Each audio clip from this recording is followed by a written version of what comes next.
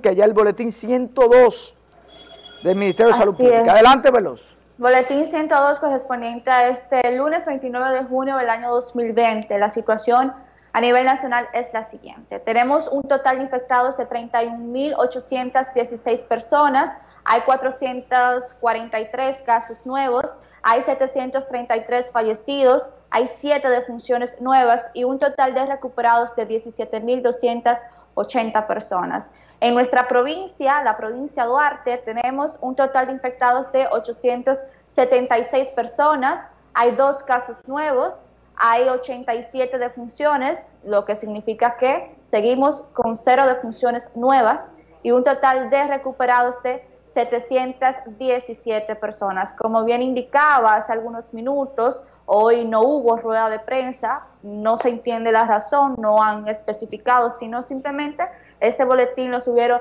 a sus redes sociales. Algo que es de mucha urgencia decir y que usted sepa es que solamente quedan 46 camas disponibles en las unidades de cuidados intensivos en el sistema de salud pública de la República Dominicana. Eso quizás es parte de la realidad que, que no se está comentando en, la, en las ruedas de prensa que estamos acostumbrados a ver a las 10 o pasada más bien las 10 de la mañana. Sigo insistiendo, en marzo nosotros estábamos mejor, aunque ahora hay más casos, y la razón es simple. En marzo nosotros teníamos miedo del coronavirus, no, no sabíamos lo que era, todo el mundo en sus casas, todo el mundo con el terror, eh, mucho, mucha agua caliente, mucha eh, seguridad, mucho gel, mucho alcohol, mucho buscar guantes, mascarillas, estar preparados. Entonces, en ese sentido, estamos peor. Lo que hay que decir es que cuando venga el, el rebrote, que ya, o sea, cuando se diga de manera oficial, el sistema de salud de la República Dominicana no va a tener la misma capacidad de